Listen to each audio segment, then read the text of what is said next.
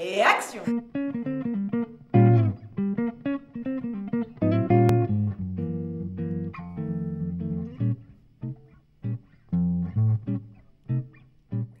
Le point de départ de notre, euh, collaboration euh, en chant et guitare a été un, intérêt commun pour, pour les standards et la chanson populaire américaine, notamment le rapport au texte. Donc on voulait vraiment partir euh, de ce répertoire de jazz entre guillemets traditionnel et lui donner un, nouvel aspect en retravaillant le texte, en travaillant le rapport entre le texte et la musique. On a choisi Cole Porter pour cette raison-là, puisque c'est quelqu'un qui, est en lui-même le, parolier de ses, de ses propres chansons, euh, incarne vraiment cette osmose entre le texte et la musique. L'opportunité s'est présentée euh, de, de, développer le, le, le, projet plus loin que juste pour euh, le format concert, euh, quand on a eu l'opportunité des marchés des théâtres euh, qui faisaient aussi des concerts, et on s'est dit pourquoi pas euh, justement porter le projet plus loin. Cole Porter, ce qui est intéressant pour un spectacle comme ça, c'est que c'est quelqu'un qui avait vécu tous les âges d'or. Il est arrivé à Paris dans les années 20 c'était la vie du Great Gatsby à Paris. Et ensuite, il a connu Broadway, l'âge d'or de Broadway. Il a écrit des comédies musicales dans les années 30 et 40. Et, euh, et, ensuite, il est passé à Hollywood dans les années 40 et 50. Et on a essayé de suivre comme ça ce, ce parcours que Cole Porter a fait dans sa vie. Autant le côté euh, très glamour qu'il y a dans tout ça, et autant le côté intérieur parce qu'il avait ses blessures, il avait ses secrets et que à travers le portrait d'un homme, ça soit aussi euh, plusieurs époques, plusieurs univers qui sont très forts. On a le chant, on a la musique et on a la danse et on va essayer d'envelopper les spectateurs dans cette ambiance tellement chaude qui fait tellement rêver. Et puis en même temps, l'émotion, les sentiments, ce que Cole Porter a pu exprimer à travers ses paroles par exemple, nous aussi on les ressent et on veut aussi les exprimer. C'est pas seulement retrouver euh, comment on dansait à l'époque et comment on chantait, mais aussi qu'est-ce que nous ça nous dit et qu'est-ce qu'on a envie d'en faire. Alors moi en tant que metteur en scène c'est très intéressant comme travail et très différent de ce qu'on peut faire dans le théâtre euh, contemporain d'aujourd'hui parce que euh, il n'y a pas de texte donc on a toute une histoire à raconter, on a le portrait à, brosser d'un artiste assez complexe avec plusieurs facettes et on a pour ça euh, les armes que lui avait c'est-à-dire écrire des chansons et euh, écrire des paroles. Donc euh, c'est très intéressant de les réutiliser en ajoutant la danse et, euh, et de réussir à dire tout ce qu'on a envie de dire, que ce soit clair pour le spectateur, que ça soit cohérent, sans mots, sans dire c'est Cole Porter et je ressens ça et je fais ça et là j'étais là, mais juste avec le son parce qu'on va aussi utiliser du design sonore.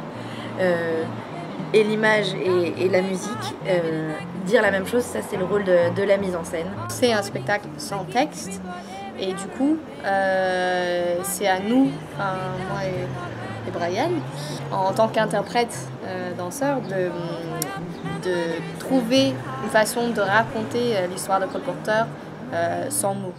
On a euh, le côté très traditionnel, Fred Astaire, Ginger Rogers, Sid Charisse, euh, Jim Kelly, euh, et en même temps euh, ce côté contemporain pour raconter euh, l'histoire, pour, pour, aller plus dans l'émotion. Je pense qu'on a été quand même beaucoup dans mmh.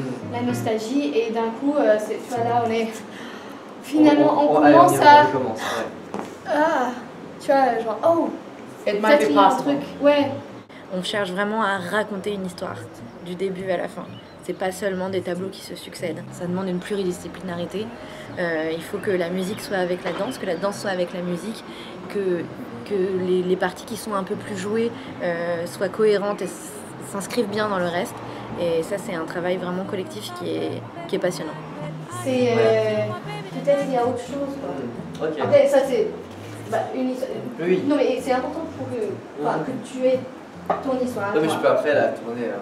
Mais, euh... mais au sein de ton histoire, trouver le même sentiment. Oui, oui, voilà, je pense que chacun peut avoir une histoire totalement différente dans sa tête. Exactement. Parce que de toute façon, c'est ce qui va se passer. Voilà, mais exactement. au sein de cette histoire, trouver le même sentiment de manière à ce que même ce soit en fait le sentiment qui porte votre chorégraphie et qu'au moment où vous arriviez, vous êtes dans le même élan. Ce qu'il faut aussi se dire, c'est qu'il n'y a pas forcément une histoire à se raconter.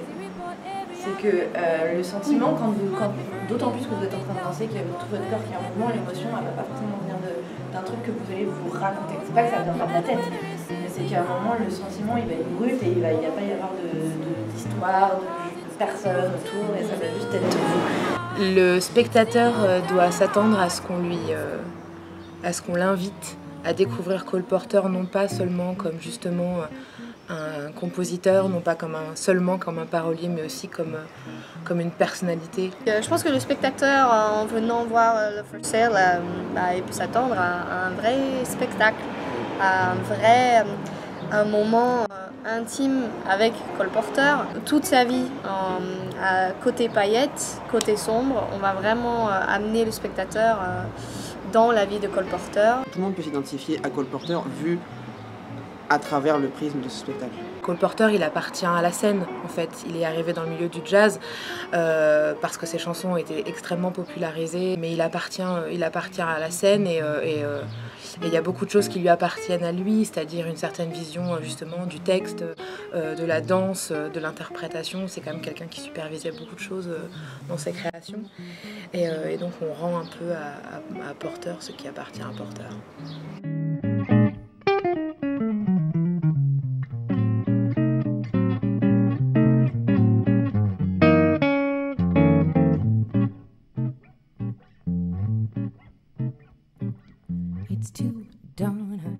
Autre chose à ajouter Je pas On adore la force, trop bien, venez.